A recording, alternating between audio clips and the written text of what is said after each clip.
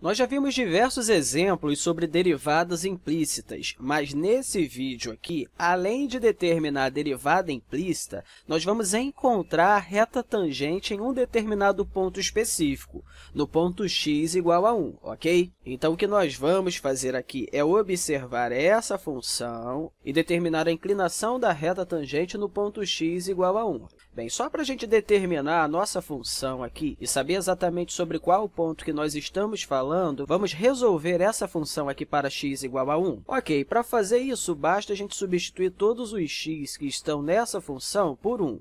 Então, a gente vai ter aqui 1 ao quadrado, que é 1, mais y menos 1 elevado ao cubo igual a 28. Subtraindo por 1 dos dois lados aqui dessa expressão, a gente vai ter y menos 1 elevado ao cubo sendo igual a 28 menos 1, que é 27.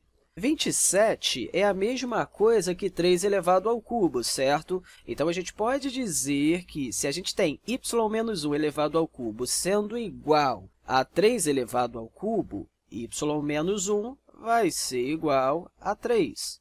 Somando por um dos dois lados, a gente tem que y é igual a 3 mais 1, que é 4. Então, quando x for igual a 1, a gente vai ter um y igual a 4. Então, nós estamos falando aqui da inclinação da reta tangente a esse ponto x igual a 1 e y igual a 4. Então, se a gente observar aqui o gráfico dessa função, que inclusive, que inclusive eu plotei esse gráfico aqui no Wolfram Alpha, se a gente está falando do x igual a 1 e o y igual a 4, a gente está falando exatamente desse ponto aqui. Então, a gente quer a reta tangente, a inclinação da reta tangente a esse ponto. E como é que a gente determina a inclinação da reta tangente a esse ponto? Calculando a derivada dessa função. Obviamente que quando você observar essa derivada, você não vai conseguir fazer ela diretamente, mas não se esqueça que isso se trata de uma derivada implícita. E qual foi a técnica que a gente utilizou para resolver essa derivada implícita? Derivando dos dois lados em relação a x.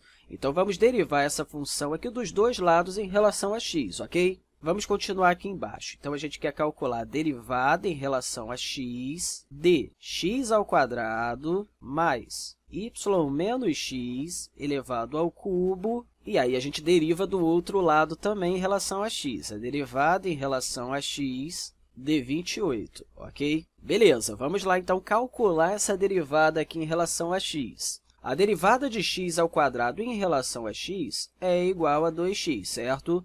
Mais para fazer a derivada de y menos x elevado ao cubo em relação a x, a gente vai utilizar a regra da cadeia. A gente deriva a função de fora e multiplica pela derivada da função de dentro em relação a x. Para derivar a função de fora, basta utilizar a regra da potência. A gente coloca o 3 aqui na frente, certo? Vezes o y menos x elevado a 3 menos 1, que é 2. Isso vezes a derivada da função que está aqui dentro. Então, a gente vai derivar y em relação a x, que é dy dx, menos a derivada de x em relação a x, que é igual a 1, certo?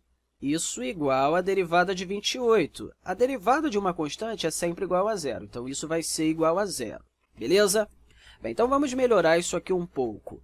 A gente pode repetir esse 2x e resolver toda essa outra multiplicação aqui, multiplicando esse termo por dy dx e multiplicando esse termo aqui por menos 1. Assim, a gente vai ter 2x, isso aqui tudo vezes menos 1 vai ser igual a menos tudo isso aqui. Então, menos 3 vezes y menos x elevado ao quadrado mais tudo isso aqui vezes dy dx. 3 vezes y menos x elevado ao quadrado vezes dy dx. Isso igual a zero. Ok, agora a gente pode jogar esse termo aqui para o outro lado dessa igualdade, subtraindo por esse termo dos dois lados aqui da igualdade. Assim, a gente anula essa parte e fica apenas com esse termo do outro lado, só que com os sinais trocados.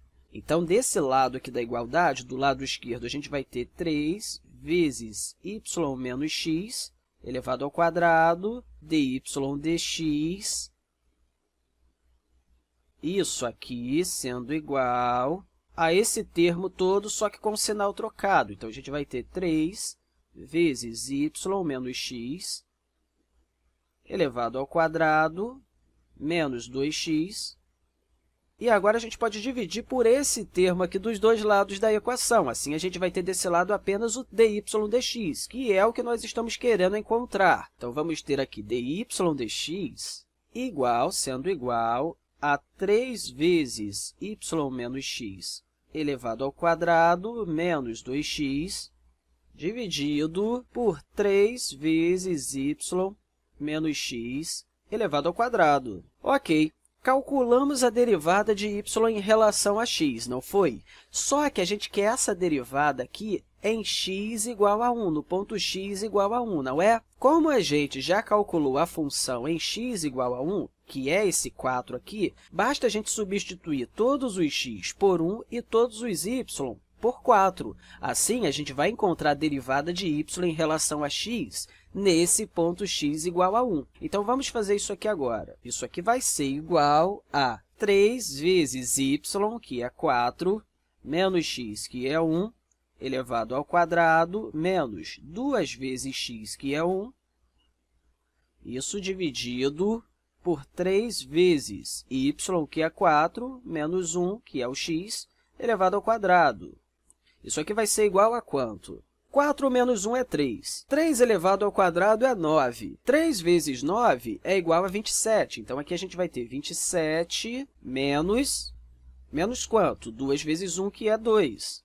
Então, isso aqui vai ser igual a 27 menos 2, que é 25, dividido por 4 menos 1 é 3, 3 ao quadrado é 9, e 3 vezes 9 é igual a 27.